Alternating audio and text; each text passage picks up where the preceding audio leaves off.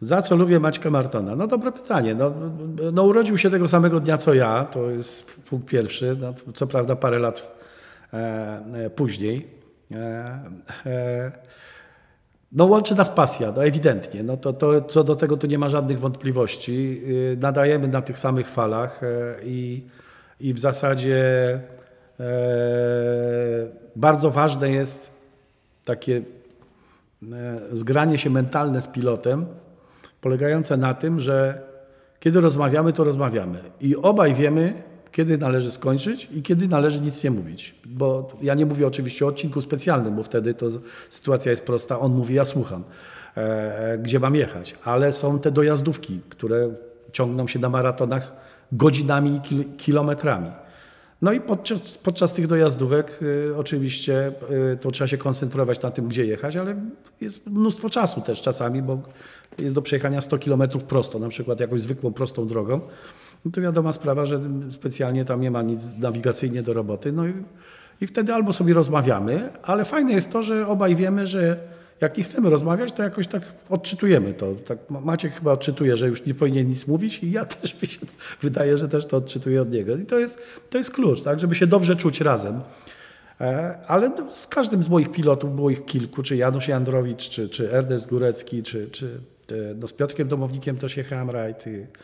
E, to zawsze była taka, z Wojtkiem Krupą, to zawsze była taka sytuacja, że najważniejszy jest taki luz, żeby nie było żadnego takiej, jakiegoś napinania się, jakichś takich, no, no chemia jest bardzo istotna. A Rafał Marton? O, o Rafale Martonie zapomniałem, właśnie. Tak, no z Rafałem tak. No Rafał Marton, e, tak, to, do rodzina Martonów tutaj jest jak gdyby faktycznie odgrywa dużą rolę w tej chwili. E, z Rafałem bardzo dobrze mi się jeździ rajdy te historyczne. Pojechaliśmy dwa rajdy.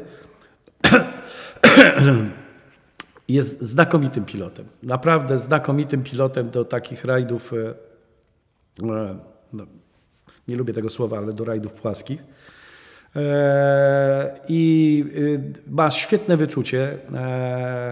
Bardzo dobry ma głos, ten głos odpowiada mi. E, no, no tak, to muszę powiedzieć, że, że, że, to, że to jest taki no, pilot, e, powiedziałbym, no, jak z katalogu. No, bardzo przyjemnie, bardzo przyjemnie się jeździ, wyczuwa wszystkie niuanse na drodze, ma świetną pamięć też. Jeżeli przejedzie, przejedzie jakiś odcinek raz i później bardzo często powtarza się ten odcinek, to oprócz tego, że mamy notatki oczywiście, ale on dużo bardzo rzeczy zapamiętuje też. Także to są takie dodatkowe e, informacje.